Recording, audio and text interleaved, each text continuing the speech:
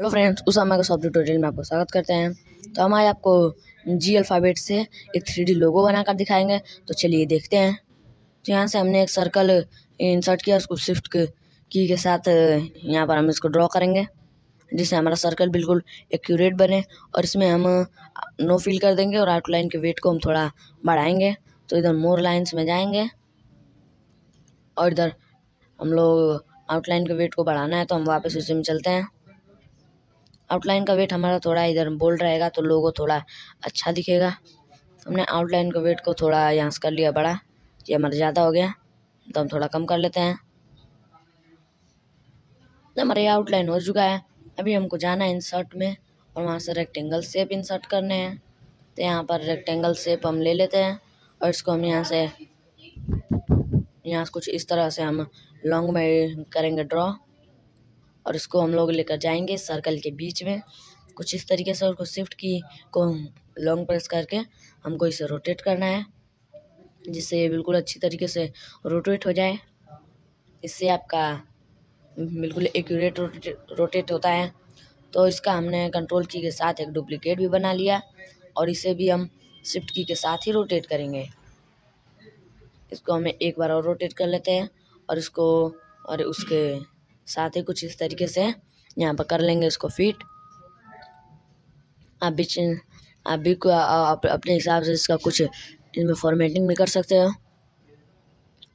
तो यहाँ पर हम स्विफ्ट की को प्रेस कर रहे हैं तो ये नीचे चला रहा है, इसलिए स्विफ्ट की को हम हटा देंगे और इसको हम इधर, इसके ऊपर फिट करेंगे बिल्कुल। जैसे हमने फिट किया, आपको भी सेम इसी प्रोसेस को फॉलो करना है।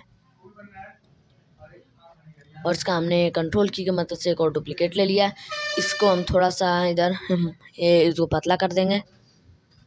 उस वाले से हमने इसको थोड़ा सा कर दिया पतला।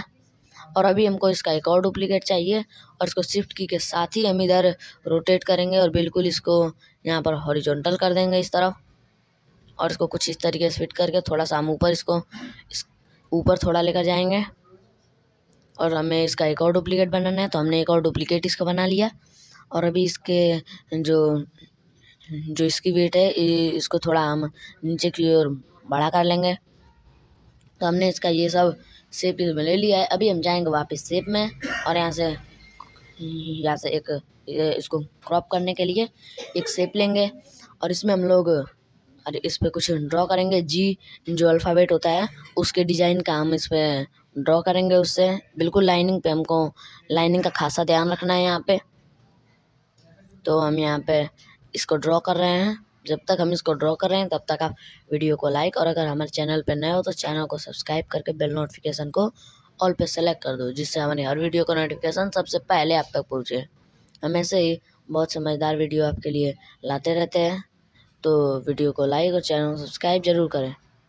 तो हमने इसको लगभग ड्रॉ कर लिया है और इसको इंडिंग पॉइंट है।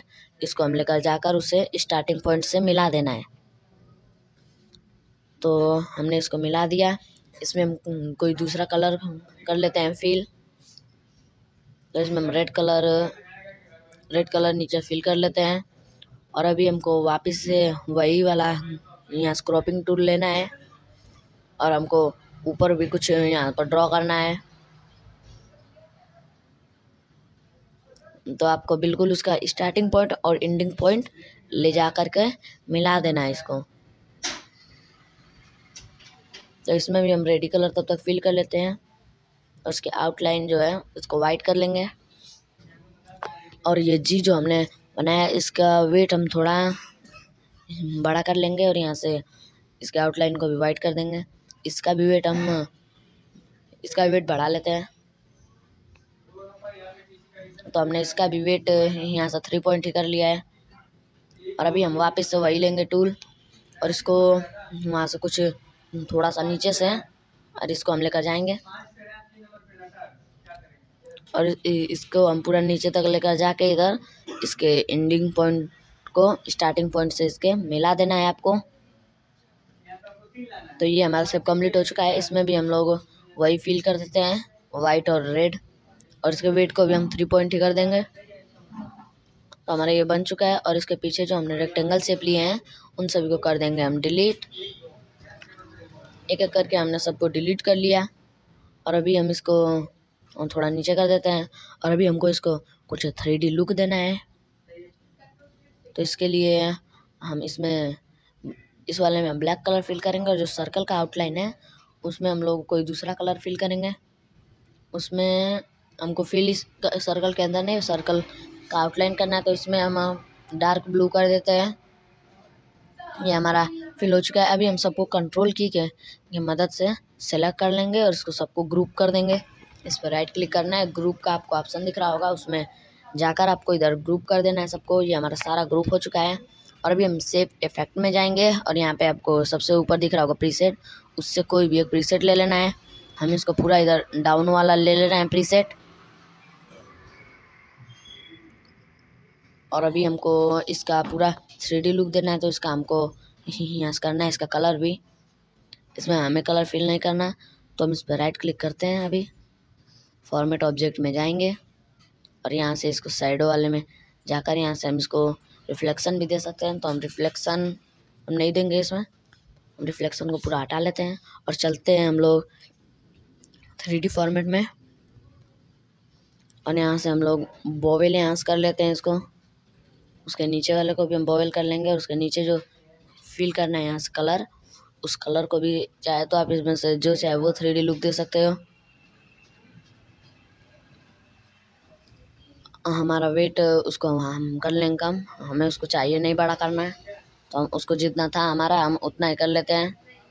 और अभी हम इसको ज़ीरो करने के बाद इधर नीचे की ओर आएँगे तो यहाँ पे मटेरियल का ऑप्शन दिख रहा होगा, इस पर आपको कोई भी मटेरियल सेलेक्ट कर लेना है। हमने ऊपर वाला सेलेक्ट किया तो आप देख सकते हैं, इसका थ्री लुक आ चुका है और अभी इसके जो ये सर्कल है, उसके आउटलाइन को हम थोड़ा करेंगे बड़ा। तो आउटलाइन का वेट बढ़ा रहे हैं। तो हम उसका सर्कल का आउटलाइन बढ़ाएँगे। तो सर्कल सिलेक्ट करो, उसका आउटलाइन भी हमने थोड़ा बढ़ा लिया है। ये हमारा थ्री डी लोगो बन के तैयार है। तो हम इसका जो पेज है, उसको भी कर देंगे कलर तो इसके लिए पेज कलर में जाएँगे। डिज़ाइन मेन्यू से और इसमें कोई भी अच्छा सा एक फिल कर लेंगे कलर हम सबको करते हैं ट्राई जो हमें अच्छा लगेगा, हम उसको इसमें कर देंगे फिल तो हम इसमें ब्लैक कलर कर देंगे ब्लैक हमको इसमें अच्छा लगेगा तो हम ब्लैक वाला इसमें कर लेते हैं फिल तो अगर आपको वीडियो पसंद आए तो वीडियो को लाइक और चैनल को सब्सक्राइब ज़रूर करें।